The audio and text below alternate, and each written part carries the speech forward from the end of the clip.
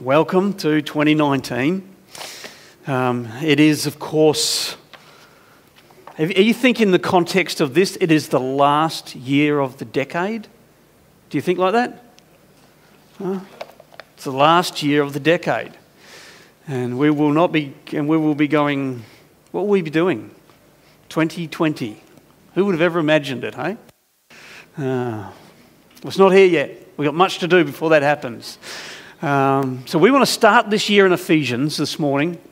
We want to start and uh, we want to begin uh, and look at the armour of God over the next few weeks. And uh, um, before we begin our next book study, and I think it's a, a great place to start any year. It's a great place to start any time. Uh, to know that we have not been abandoned, to know that the Lord has not left us and uh, we don't have to def- depend upon our own devices, but rather God has a way for us to be able to stand. And not only stand, but to stand victoriously as the children of God in this world. Um, read these verses with me, will you? Um, are you in chapter 6 of Ephesians? Could I bother someone for a drink? Would they mind? Um, thank you, Jim. so it begins in this passage in verse 10. Finally, my brethren, be strong in the Lord and the power of his might. Put on the whole armour of God that you may be able to stand against the wiles of the devil. For we do not wrestle against flesh and blood, but against principalities, against powers, against the rulers of darkness of this age, against spiritual hosts of wickedness in the heavenly places. Therefore, take up the whole armour of God that you may be able to withstand in the evil day. And having done all to stand, stand therefore, having girded your waist with truth, having put on the breastplate of righteousness, having shod your feet with the preparation of the gospel of peace. Above all, taking the shield of faith, which you will be, with which you will be able to quench all the fiery darts of the wicked one and take the helmet of salvation and the sword of the Spirit, which is the Word of God. Praying always with all prayer and supplication in the Spirit, being watchful to this end with all perseverance and supplication for all the saints. Um, I think we will this morning travel as far as, well, verse 10 and half of verse 11. Um, just to get us going, just to introduce us to this subject. Um, notice where the passage begins. Thank you, Jim. Notice where the passage begins. We're talking about war, aren't we? We're talking about warfare, spiritual warfare. And notice where the passage on warfare begins. It begins with this word finally, there in the 10th word. And I believe that word finally is in light of, of everything that has been re- revealed throughout the book of Ephesians. So you just can't pick up this passage, you know, and I really do you a dis- discredit, but not a discredit, but I really don't do you any favors by bringing you and starting you here in the sixth chapter. Because the reality is, to understand spiritual warfare, you really need to start at the beginning in verse 1, chapter 1 of this book of Ephesians, and I believe um, it is laid out for us this, this plan for the child of God, revealed throughout the whole book, as I say, to prepare us to be soldiers that stand, to be, to be spiritual soldiers clad in the armor of God who know the victory that Christ has, and that's an important thing. Christ has won for us. So I would encourage you read through Ephesians over the next few weeks. We're going to keep coming back to chapter 6, but I want you to read through the entire book if you can. Understand the richness, because it truly is an incredible laying out of the richness of our salvation and the life that God has called us to that he is called the blood washed child of God, the blood brought child of God to experience the richness of that life. You know, it's just really quickly, you come to chapter one, and in chapter one, he starts off speaking of how God, according to his sovereign grace, has chosen us. Let me just read verse 4 of chapter 1 to you, where it says, He chose us in Him. I'm going to be fast, so if you can keep up with me, go for it. But He has chosen us in the foundation, before the foundations of the world, that we should be holy and without blame before Him in love having predestined us to the adoption of sons by Jesus Christ to himself, according to the good pleasure of his will. He said, we have been sealed in, in verse 13 of that chapter. We have been sealed by the Holy Spirit of promise. And then you come into the second chapter, we're reminded of the state that God found us or the state from which God brought life to us. We were in spiritual death and He made us alive, it says in the second chapter. Can I read this to you? I love this passage in the second chapter, starting verse 1, where he says, And you he made alive, who were dead in trespasses and sin, in which you once walked according to the course of this world. Please note these things. Where you once walked according to the course of this world according to the prince of the power of the air, the spirit who now works in the sons of disobedience, among whom also we all once conducted ourselves in the lust of our flesh, fulfilling the desires of our flesh and of the mind, and were by nature, he says, the children of wrath, as are others, were by nature children of wrath. But God, in his rich mercy, Paul says, God, in his rich mercy, because of his great love with which he loved us, even when we were dead in trespasses, has made us alive together in Christ. For by grace we have been saved. And he's raised us up together and made us to sit together in heavenly places. What a great promise that is. Yeah, true, we are sitting in this building. Yeah, true, we are sitting on these maybe not so comfortable chairs right now. But as far as God is concerned, where are you, child of God? It's a done deal, isn't it? As far as God is concerned, you are seated in heavenly places in Christ Jesus. He will say, We who were once afar off from the spiritual life have been quickened. We have made alive in Jesus Christ unto eternal life. He will say that we have been made members of the household of God, where in Christ all nations, all cultures, all creeds, all colors have been brought together, where peace and unity can exist. That's what He's done for us. The richness of this finished work. And then we come into chapter 4, and He begins to speak about the spiritual gifts that is given to the church. He says that we should no longer be children tossed to and fro and carried about with every wind of doctrine by the trickery of men and the cunning craftiness of deceitful plotting, but speaking the truth in love, that we may grow in all things unto Him who is the head, that is Christ Jesus. Isn't that rich? Isn't that glorious? And we come to the fifth chapter, and he says that we should walk in love as God has loved us. And then we enter into that wonderful exhortation where he begins to talk about the, the filling of the Holy Spirit, the spirit filled life, where he begins to talk about how his, uh, reveals to us what that life looks like. Is revealed to us what we should look like as husbands what we should look like as, as, as wives, as parents, as children, what, the, what, what it looks like to be a spirit guided, filled person in this world. and the whole book, the whole book is just filled with the richness of the heavenly blessings and the great calling that He has placed upon our lives and how we are today by day walk in this reality.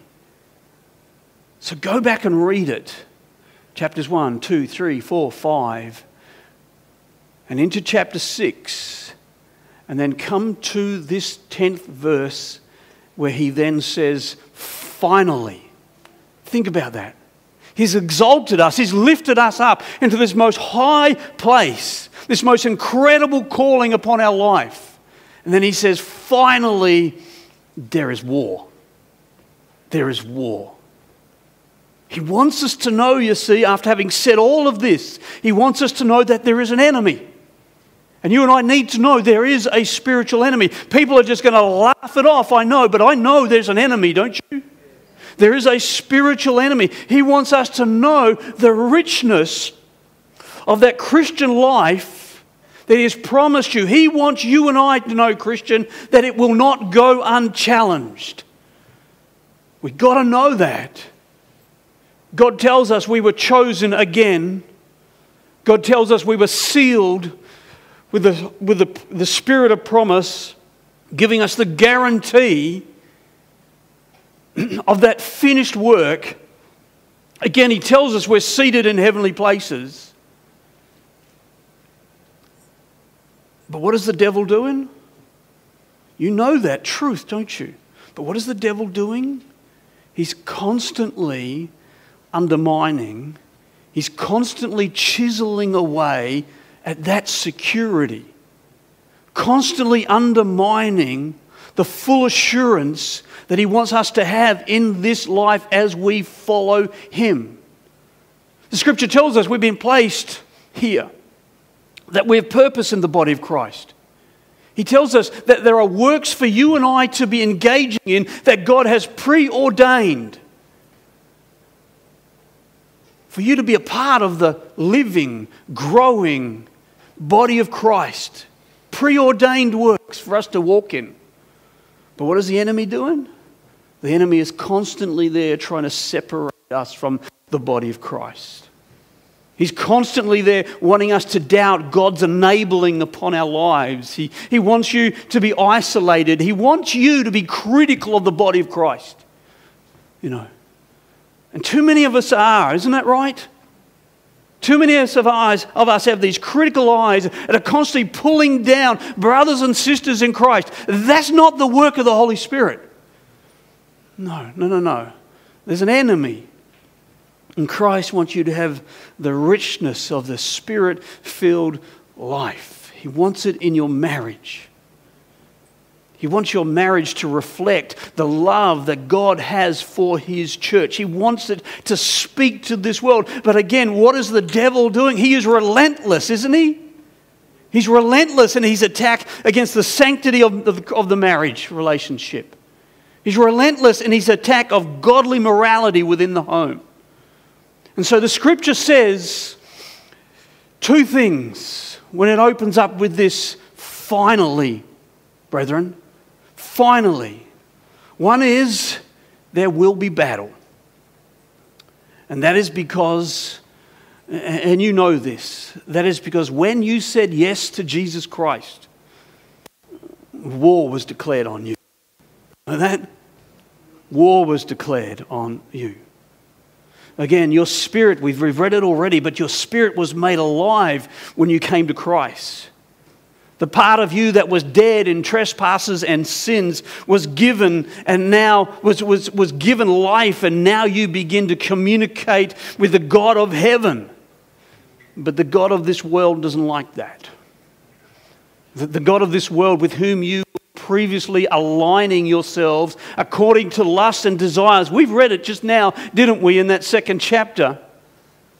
That God has become your enemy. And now there's battle. And He doesn't want you to know the richness of that, of that relationship. He doesn't want you to have that. And so now there is a struggle for the things of the Spirit. And if you've been a Christian for more than 30 seconds, trying to follow Jesus Christ, trying to lay your down upon that altar, then you know what I'm talking about. So that's number one. But secondly, and I think just as, if not more importantly, those spiritual blessings, all of that fruitfulness of the spirit filled life that has been spoken about, all of it can, no, let me say, should be realized in my, in your life. It should be despite the fact that we have an enemy. Why? Because our strength, and this is what we will discover as we go through this, our strength is not of us, certainly is not of us, but it's of the Lord who has done what to the devil? It's a D word, it's a very important D word. He has defeated the devil, isn't that right? So he says, finally, brethren, be strong in the Lord and in the power of his might. But the reality is this, and I've got to say this the reality is that there are so many believers that live their Christian life as if they have not been made alive in the Spirit. You know, Paul says in chapter 4, verse 23 of this book, uh, that we are renewed in the spirit of our mind. And that is that we have heard and we have learnt Christ. And so that through the act of walking in righteousness, he then begins the fifth chapter by saying, We become imitators of God. Paul calls it putting on the new man, which was created according to God in true righteousness and holiness. Christian, if you live the life that is honoring God, if you put away unrighteousness as we have been called to do so, if you, as he says in chapter 4, give no place to the devil in your conduct, and you will know there's a battle you will know there's a battle. You, see, we're not, and, and, I, and I think, um, I don't know how to say this, but we are not simply saved to sit around and wait for these blessings that we've just spoken of and read about. We're not simply saved to sit around and wait for the blessings of God to simply just rain down upon us. No, no, no. We have aligned ourselves with the God of love and truth and righteousness. And that's how we live. We live by love, truth, and righteousness. And there will be a fight over those things. If you follow Jesus Christ, you will find that you have entered into a battlefield. Every single one of you. Now, before we go on, and I says, I'm, this is just an introduction this morning. We're not going to get very far into this at all. But before we go on, I need to point out there are positions that people take when it comes to this subject on warfare that I think we need to guard ourselves against. Very much so. The first one is a position of skepticism. And that is that there are people out there that simply says, "Devil, are you crazy? Do you believe in that medieval whatever?"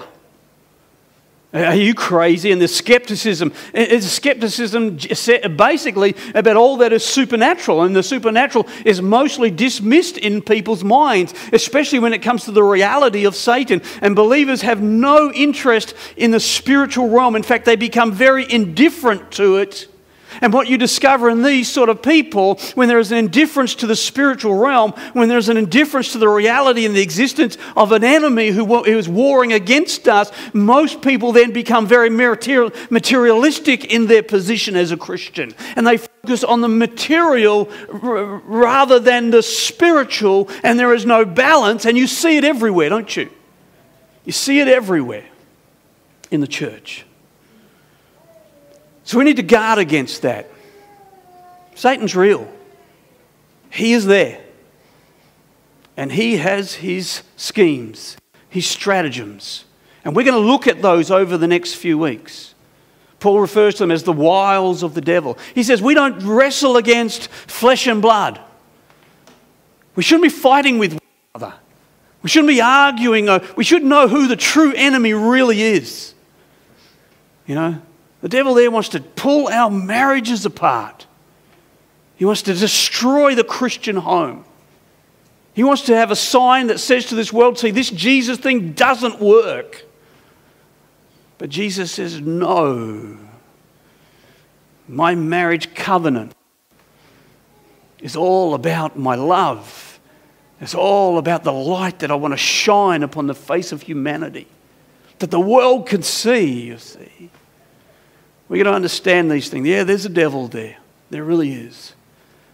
But the other position that we need to guard against is the opposite of that, and that is the extreme where everything, and I mean everything, is about demons and devils and warlocks and witches, you know. And there's all these ideas that, that, that, that come out. People start adding and they start inventing ideas that have no scriptural grounding whatsoever. You'll start hearing things about, about um, spiritual mapping and things like, uh, like that where, that, where they will come into a community and they will map out the spiritual ground and they will divide it up into, into, um, into territories. They'll talk of territorial spirits and they'll start categorizing demons and they'll, and they'll start giving them names and there will be different levels of attack. There will be the ground level, there will be the occult level, there'll be this strategic level, and there's all this stuff going on. And it's way, way, way too much from the movies. There's no grounding in the Bible whatsoever. You know what happens there? You know People become so consumed with the activity of Satan that they lose focus on Jesus and his gospel. Why he actually came, you know? And for the most part, that extreme, you know what it creates? It creates fear in the heart of God's people and confusion in the minds of God's people. You know, you know what I think? I, I think Satan would be happy for us to fall in either camp. You know? Because I don't think we're really bothering him. I really don't. Paul here, you see, there's, there's none of that in what Paul says. Paul is here is wanting us to bring to us a balanced view of the spiritual realm. And yeah, he wants us, and we need to take it very, very seriously. Because if that is a reality, the devil does exist, and he hates you. He hates everything you do in Christ. That's a reality.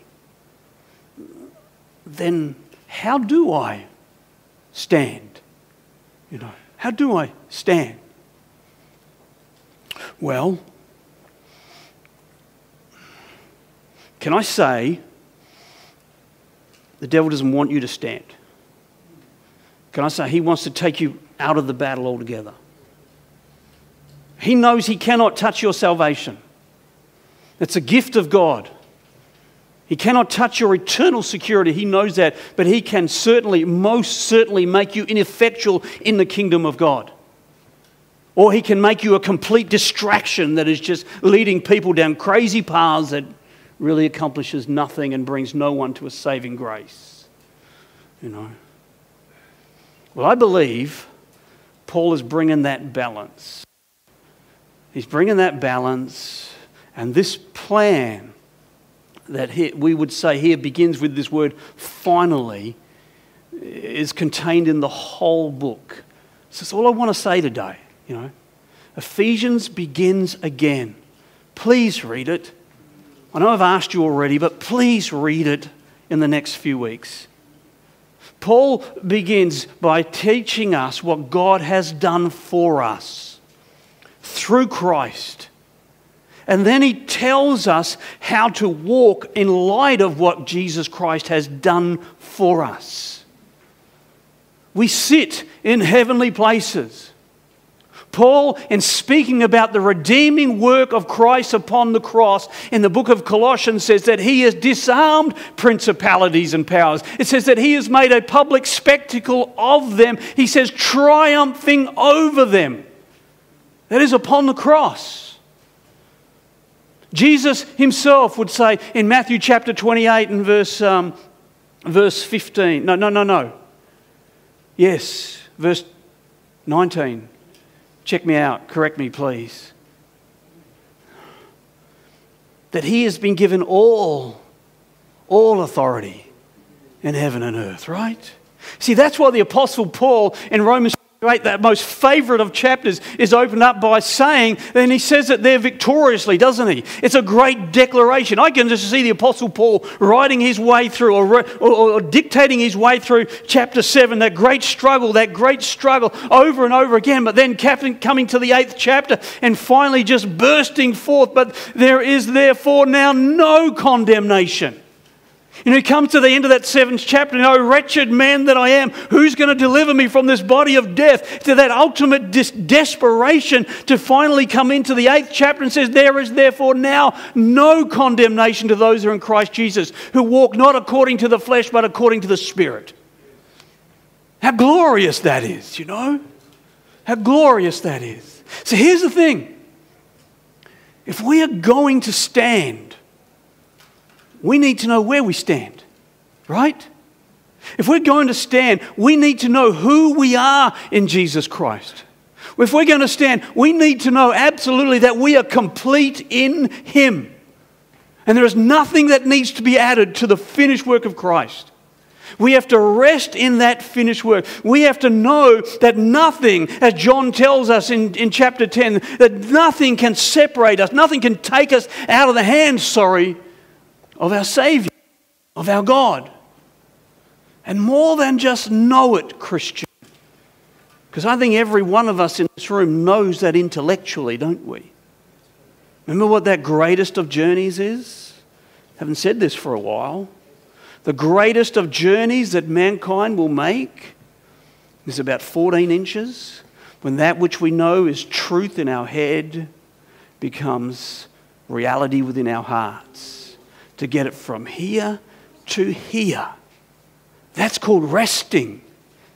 It's beyond just knowing, it's about resting in those things. We have to sit and we have to rest in Him, knowing who we are in Christ. Then we can follow Him. This is how the book is divided up. Then we can follow Him and we can walk in the strength of the Holy Spirit in all holiness, just as God has created us for. See, here's the truth. And this is what I want you to understand today. Here's the truth we cannot hope to enter into the battle victoriously if we are not resting in the security of the finished work of Jesus Christ. We cannot. And we cannot stand if our way of living, if our conduct is in conflict with the way that Christ would have us to live. As, as Watchman Nee, many of you know this book. In his little commentary on Ephesians, he says, First we sit, then we walk, and then we stand. Sit in what Christ has done for you. Walk in a life of holiness. And you what? Then you're ready for the battle. Then you're ready for the battle. So he says, finally, my brethren, after coming through all of this, this great journey and this great epistle, he says, finally, my brethren, be strong in the Lord and the power of his might. More literally, you see, we can read that and, and we can read it in a way where it depends upon me. Finally, be strong. But, but literally, it is be strengthened in the Lord. He's not saying you be strong, but rather he's saying, let the strength of the Lord be strong in you. Let his might work in you. Let me tell you why. It's got to be Him. There's a, there's a very strange episode in Jude, uh, the ninth verse.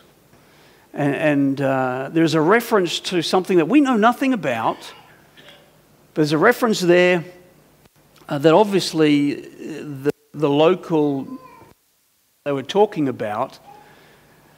And it's talking about this episode when the devil was contesting over the body of Moses. Remember, God buried Moses secretly, didn't he?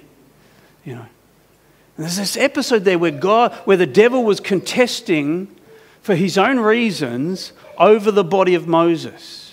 And this is what it says. Let me just read it to you. And it says, Yet Michael the archangel, that incredible, powerful, created being of God, Remember, you and I, we have been created a little lower than the angels. Remember that? But here is Michael, that chief of angels, says, Yet Michael the archangel, when he was contending with the devil, he disputed about the body of Moses. He did not bring any railing accusations against the devil, but he said, The Lord rebuke you. Just think about that, will you? Just think about that for a moment. Michael the angel would not directly himself rebuke the devil, but rather he would put the Lord between himself and the enemy. And we need to remember that. We need to remember we really are no match for the devil. Please understand that. He's an incredible spiritual being. You know, he's, he's not described as a lion and a dragon for reason at all. Uh, uh, Jesus didn't call him a thief who comes to steal and to kill and to destroy for no reason at all. No, no, no. He says, but we are told to be strengthened in the Lord and in the power of his might. Do you remember the seven sons of Sceva? What a, you know, we often laugh about that episode, don't we? You know, they're in Acts chapter 19 we read this account. Let me just read it to you. It says, There were certain of the itinerant Jews. This is Acts 19, verse 13. There were certain of the itinerant Jews, they were exorcists, and who took upon themselves to call over them which had evil spirits the name of the Lord Jesus. They took it upon themselves. They'd seen the power being manifest through the disciples in the name of Jesus, and they took it upon to use that name and it says, We adjure you. They said, We adjure you by Jesus whom Paul preaches. And there were seven sons of one Sceva, a Jew and chief of the priests, which did also. Can you see it? Seven of them standing around this one poor demon possessed individual. And standing over him and say, In the name of Jesus whom Paul preaches. What was the response of that demon inside that poor individual has answered him and said, Well, Jesus I know, Paul I know, but who are you? But who who? And the Bible tells us that the man in whom the demon was leaped upon them and overcame them and pounded them and tore their clothes off them. They went running down the street naked, probably vowing never to speak that name again. I don't know. You see, they had no relationship, did they? In the Lord. It's not about me being strong, because uh, I can't do anything. And it's the same for you. But it's us sitting, it's us resting, it's us walking in Christ who is strong and it is He in us that enables us to stand against the enemy and bring the victory. I believe that the Christian who realizes, I believe this with all my heart, that the Christian who realizes that God does not want them to do anything by themselves has truly discovered the secret of the power and might of God in their lives. I truly believe that. It's not that God wants me to do anything in and of myself, but He wants to live he wants to live His life in me and through me. Do you see the difference? Do you recognize the difference? One is me trying, and the other is God in me. Nowhere, so here's the thing nowhere in the scripture are you told to try God. Nowhere. But everywhere it is Christ living in us. Again, it's the realization that I have no strength in myself to do anything for God, but I can do what does it tell us in Philippians 4:13, Jim? All things. How? How? Through Christ. Christ who does what? Christ who strengthens me. Again, I am strengthened in him. In fact, verse 10 is, a, is, is an imperative continuous tense. And the idea is that moment by moment it is trusting, and it is moment by moment, it is trusting His strength to be transferred through you as you live your life in communion with Him. See, we do ourselves a disservice when we think that we are building our strength up when we are becoming a reservoir for the strength of God to reside within us that we can exercise at any time. No, the Bible knows none of that. None of that. but it always speaks about the one who is in us. And so Paul would victoriously cry, It is no longer I that live, but Christ who lives in me. So finally, brethren, be strong in the Lord and in the power of his might. Put on the whole armor of God that you may be able to stand against the wiles of the devil. Do you know what stand means? I've been saying it all morning, haven't I? We need to be able to stand. You know what stand means? It means hold your ground. That's what it means. In fact, the word stand, means hold your ground against. It means don't be moved, right? I had in my mind last night I was going to get you all up to stand up and do a little physical exercise with me. I was going to get you to face one another, plant your feet, and start pushing each other, but I thought that might not be appropriate for all of us. But if you can get a mental image of that, a force pushing against you, but we who know who we are in Christ, we who understand the victory that Christ has won in and through our lives, we who are walking in holiness can stand and not be moved. It means don't be moved. You see, Christian, our warfare, please understand this, is not one of invading. We're not told to go invading anywhere. We're not told to march. Have you noticed that? It doesn't say march. It doesn't say, oh, you Christians get all together. We've got lots of songs like that, haven't we? Old choruses like that. Here we are marching off to war together, taking the ground. Well, you know, there's a sense of that, but in reality, biblically, we're told just to stand our ground. Why? Because we're told to hold the ground. What has Ephesians been all about? What God has done for us. We're told to hold the ground that God has given us. And we're going to see this in the next few weeks as we get into the, the, the armor that God has given us. Nearly all of that armor is defensive.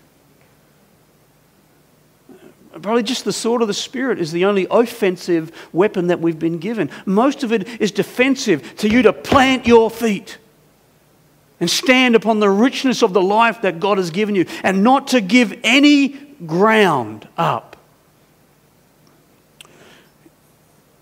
Here's the glorious truth that makes that so wonderful. The glorious truth is that Jesus Christ is the one that has won the war. This is what you've got to know. Jesus Christ has already done the invading, hasn't he? He has stormed the gates of hell, hasn't he? He's defeated the devil, hasn't he? He was the invader. He defeated Satan. He crushed the head of that old serpent 2,000 years ago. We fight, here's the key. This is how we stand. We fight from victory. We don't fight for victory. Can I read Colossians again? What does Colossians tell us? That he, that is Jesus Christ, has disarmed principalities and powers. That he has made a public spectacle over them, triumphing over them. That's the cross. And again, all authority in heaven and earth has been given unto me, Jesus would say. We stand in the victory that has already been won. Because we are conquerors. No, we're not conquerors, are we? We are what? That's right, we are more than conquerors through the Lord Jesus Christ. You stand, Christian, because you know who you are, because you know the victory that's been won for you. You stand, Christian, because you are following a holy, righteous God. The bottom line is Satan doesn't need to be defeated. No. He's already been defeated. He's already been defeated. And the only real power that he has is the power of a lie. You know? And man, he's good at that, isn't he? He's the accuser of the brethren, we're told. Man, he's so good at that. And you know just how powerful a lie can be if we allow it into our hearts and our minds, especially about God. It can be very powerful.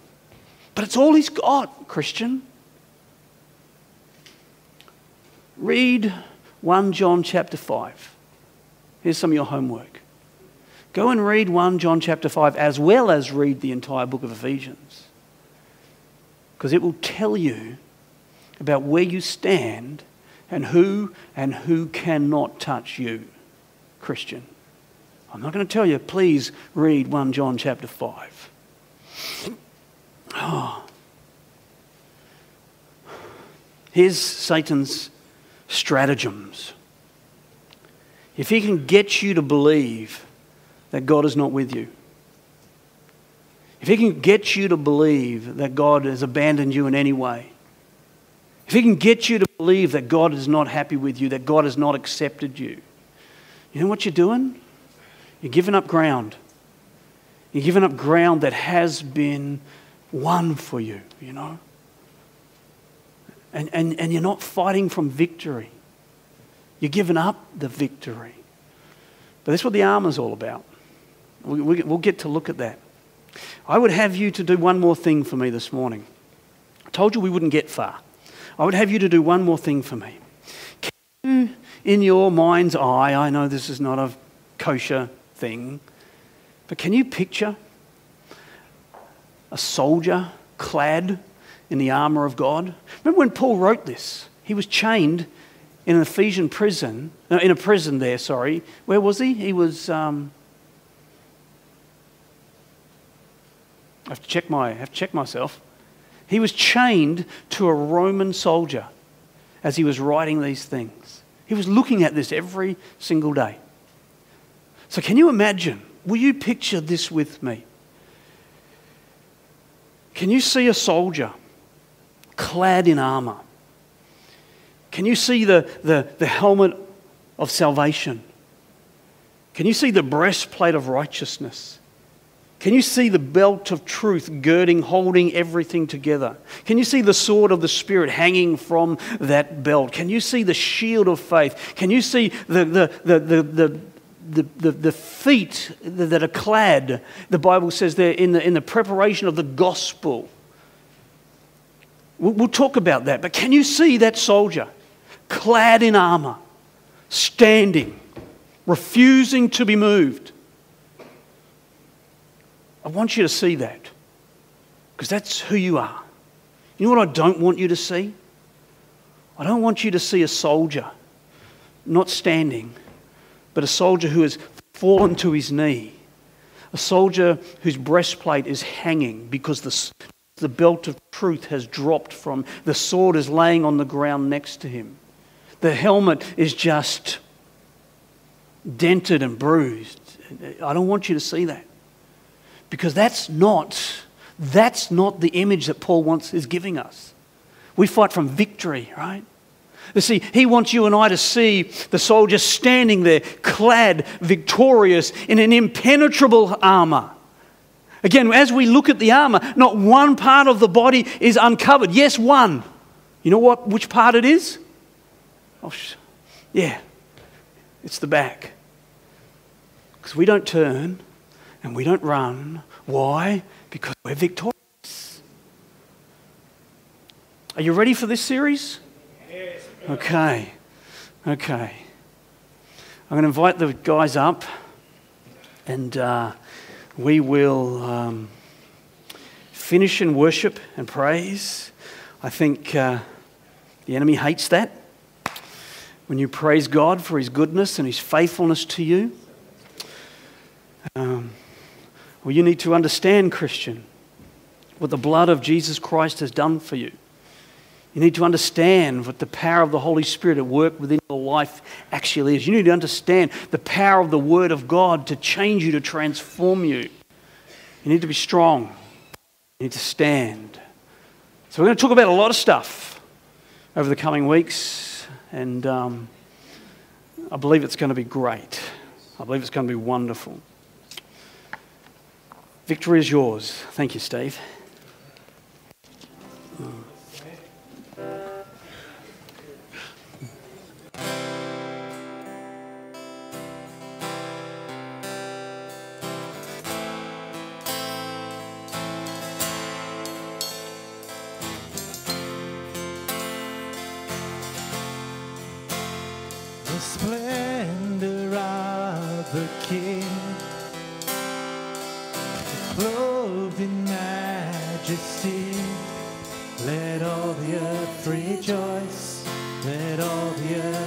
rejoice. He wraps himself in light, and darkness tries to hide, and trembles at his voice, and trembles at his voice. Come on, church. How great.